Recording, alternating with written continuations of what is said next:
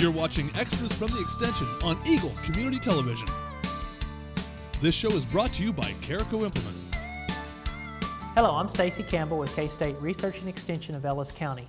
Well, the new farm bill is starting to roll out. They're about done with it. And farmers will have to, of course, get enrolled into that. There's still plenty of time. Uh, enrollment doesn't start until about mid-November, November 17th, till the end of March of 2015. Um, but Extension is already starting to do some programs out there to give the farmers some information on this new farm program. One of the things that uh, farmers can, can start looking into and thinking about now is to whether they want to update their program yields on their base acres. And they can also, if they want, if they choose to, they can reallocate their program base acres as well with this new farm program. And then ultimately, the biggest decision they're going to have to make is whether they want to enroll their farm into the PLC or the price loss coverage or the ARC, the agricultural risk coverage. Once you've enrolled into those with this new farm program, you're locked in for five years. So, like I say, there's still plenty of time for this. K State Research and Extension and Oklahoma State University have developed a computer based farm program decision aid tool uh, it's, it's basically in Excel. You can download it on your, onto your computer, and then you can start uh, playing around with this program and putting in what your, what your yields have been, what your base acres are, and it'll help you. And also, you kind of got to put in there what you think prices are going to be, and then uh, it'll show you kind of the difference in possible payments based on yield, based on price of the two programs of the PLC and the ARC.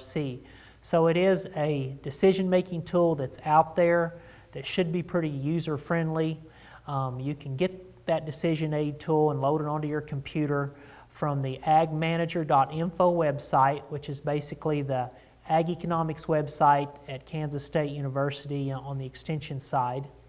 Also, Oklahoma State has it on their website.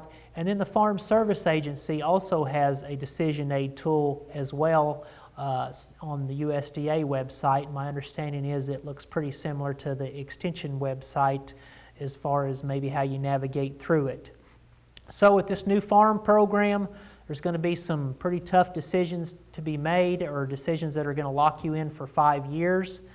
Plenty of time uh, before you have to do that. Extension and FSA are planning to have some programs to try to inform and update farmers about, about uh, the new farm bill and about the price loss coverage and the agricultural risk coverage and what it might mean to your farm.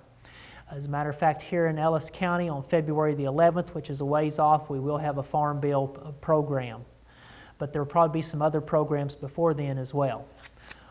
Once again, there is a decision aid tool out there on the on the agmanager.info website that you can start uh, plugging some of your farm's numbers into uh, to make, help you make this decision as to what program to enroll into for the new Farm Bill. Well, this has been Stacy Campbell with K-State Research and Extension of Ellis County and Eagle Community Television. You're watching extras from the extension on Eagle Community Television. This show is brought to you by Carrico Implement. Fall is here, and it's a great time to come out and visit Carrico Implement in Hays for all of your fall lawn care needs. We stock and sell a full line of John Deere riding lawn equipment, along with Honda walk behind mowers and generators. We also offer a full lineup of Stihl outdoor power products. If your project requires even more muscle, come check out the lineup of John Deere compacts, tractors, and skid loaders. And don't forget, we have the parts and services to keep you up and running for whatever your fall lawn care needs are. So come visit Carrico Implement for a solution that fits.